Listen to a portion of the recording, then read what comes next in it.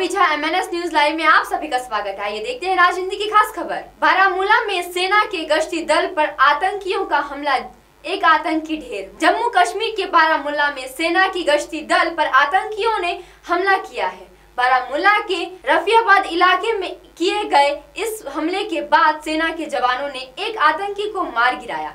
दूसरे आतंकी के इलाके में छिपे होने की खबर है। उस आतंकी की तलाश में ऑपरेशन जारी है। बत्तीस राष्ट्रीय राइफल्स की पेट्रोलिंग पार्टी पर आतंकियों ने कल देर रात हमला किया था। बताया जा रहा है कि सेना की गश्ती दल पर दो से तीन आतंकियों ने हमला किया था, जिसके बाद जवानी फायरिंग में सेना के जवानों ने एक आतंकी को ढेर कर दिया है। लेकिन बाकी बचे आतंकी बाहर निकलने पर कामयाब हो गए हैं। कल आतंकियों से एनकाउंटर के बाद सुरक्षा बलों ने पूरे इलाके की घेराबंदी कर दी है। आज सुबह सुरक्षा बलों ने एक बार फिर सर्च ऑपरेशन शुरू कर शुरू कर दिया है। मारे गए आतंकी के बारे में बताया जा रहा है कि वह विदेशी हो सकता है। इस आतंकी के पास पास से एक पिस्टल और दो ग्रेनेड बरामद हुए हैं। हालाँकि जो फरार आतंकी है, उनके बारे में अभी कोई जानकारी नहीं मिल पाई है। उत्तराखंड और उत्तर प्रदेश के मुख्यमंत्री नारायण दत्त तिवारी के बेटे रोहित शेखर की मौत के मामले में क्राइम ब्रांच की जाँच जारी है। शव परीक्षण रिपोर्ट में दावा किया गया है कि रोहित की मौत गला दबाने और मुँह एवं नाक बंद करने के चलते दम घुटने से हुई है। एम्स में पोस्टमार्टम के बाद पुलिस ने गुरुवार को ही हत्या का एक मामला दर्ज करते हुए जाँच के लिए इसे क्राइम ब्रांच के पास भेज दिया है।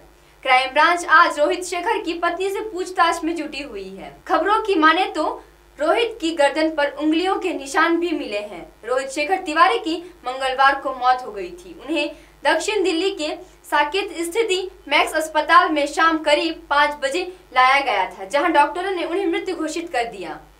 कांग्रेस विधायक ने कहा, पीएम मोदी को फांसी पर लटका देना चाहिए।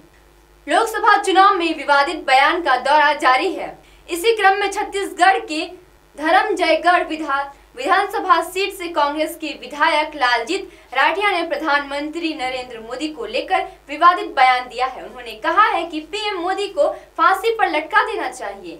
एक सभा में कांग्रेस विधायक और रायगढ़ सीट से कांग्रेस के उम्मीदवार लालजीत राठिया ने कहा, प्रधानमंत्री नरेंद्र मोदी को को फांसी पर लटका देना चाहिए। उनका यह बयान नोटबंदी और काला धन की वापसी को लेकर था। राठिया ने कहा, खुद पीएम ने कहा कि 100 दिन में काला धन नहीं आया तो मुझे फांसी पर लटका देना। राठिया ने इस बयान के बाद बीजेपी ने उन पर पलटवार किया। बीजेपी ने ट्वीट कर कहा, इन्हें वोट इसलिए चाहिए कि नरेंद्र मोदी को फांसी पर लटका सके, ताकि साध्वी में 24 दिन तक भूखा रख सके, उमा भारती को जल समाधि दे सके। तो M N S news live की खबर देखने के लिए आज ही प्ले स्टोर से M N S Hindi app download करें और हमारे चैनल को सब्सक्राइब करें। धन्यवाद।